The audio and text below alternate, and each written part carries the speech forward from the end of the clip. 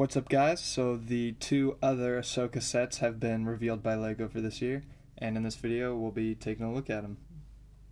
So, the first setup is the New Republic E-Wing vs. Shin Hati Starfighter. This set's going to retail for $110, and it comes with 1,056 pieces as well as 5 minifigures.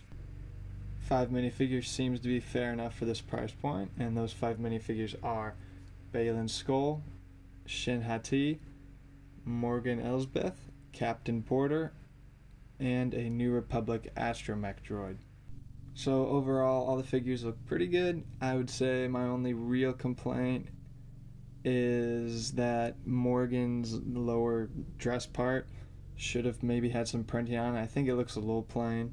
Also, I'm kind of disappointed that the lightsabers aren't orange, or at least a little bit of a different color, because in the trailers you can clearly tell they are not red. They're like a orangey red. The pilot looks really great, and the astromech, which I've never thought I'd say this, but actually looks really cool. Like it's a very fun color scheme, and I'm actually kind of excited to get this one. But overall, pretty good selection, pretty well detailed, and not a bad amount for the price point. Moving on to the ships, we have the E-Wing and Shin Hati Starfighter. Now the E-wing, this is exciting because this this ship has been around for a long time, but it's never been made in Lego. I think this was a great design for the E-wing, and I also really like the colors on it. The blue and white I think looks really great.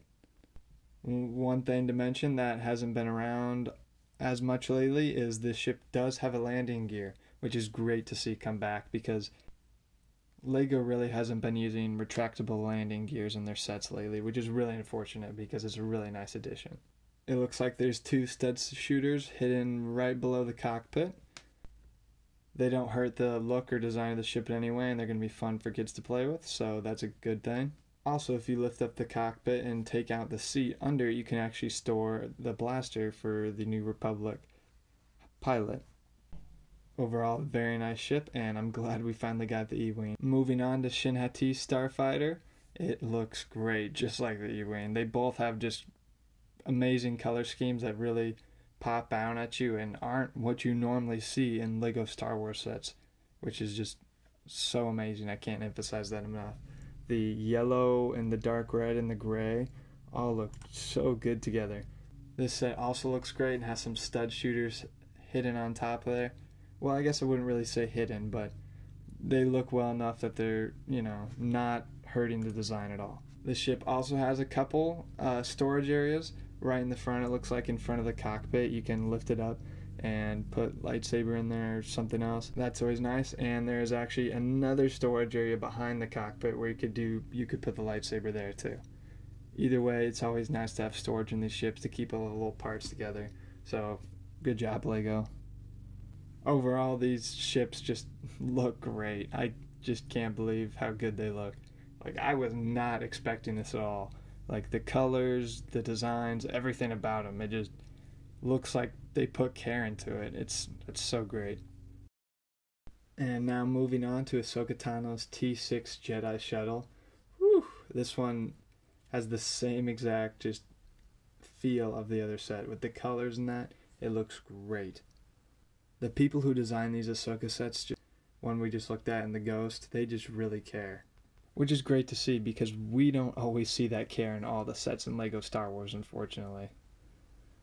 Anyway, it looks like this set will be $80, have 599 pieces, and 4 minifigures. Doesn't look like too bad of a value here. It looks like the ship will be downsized from the old model though. Not too much, but you can tell because the cockpit's a different piece from the old one, and it only fits one instead of two like the old one. But anyway, let's get into the minifigures. So first up is Ahsoka Tano herself, and she has a new headpiece, which looks pretty good. It's definitely accurate to the show. Overall, good printing on the figure, and I love that we got arm printing. Always nice to see. Now, her lightsabers, though, I do wish were more of a white color, because I just don't think the clear really works, because, I mean, they're not clear, they're white. There's a pretty big difference there. Anyway, moving on to Sabine Wren. She's got a green lightsaber and as well as a hairpiece and a helmet piece, which is very nice to see. She also has two blasters. So she's got she's completely kitted out here. Her figure is also great, and that's just a great amount of detail. And then next up is Professor Huyang, and he's got a very fun, nice head uh, head mold. And I can't wait to get my hands on him. And the Inquisitor included in this set is Marok. I think I, I hope I said that right. I don't know, but it looks like he has the classic Inquisitor lightsaber, the circle with the two blades on each end, and this guy just looks really cool. He looks like an old knight, like with his helmet and that. I can't wait to get my hands on him too. There's so many good figures in this set. And moving back to the ship, as you can see, it spins around 360 degrees around the cockpit, which is a really fun feature that I loved from the first ship. It also has two stud shooters hidden there right by the cockpit on the inside of the wings. Those will be fun to play with for kids. It also looks like there's some like either storage or work areas on the back of the box. You can see Huyang is working on the ship. Another great thing, if you remember, I was talking about landing gears with the E-wing. This one, well, I don't know if I guess I'd call it landing gears, but more of a like a stabilizer. It just helps so when you set it down, it won't you know tip over as easy, which is nice.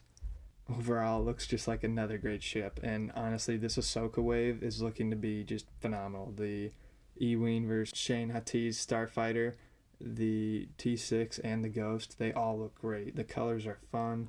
The sets look greatly designed, just perfect, amazing. Good value on all of them. Yeah, I just can't wait. Let me know what you guys think down below about these. I'm really curious to hear uh, how many of you guys are going to buy these like first day because that's probably going to be me. All right, let me get let me know you guys. See ya.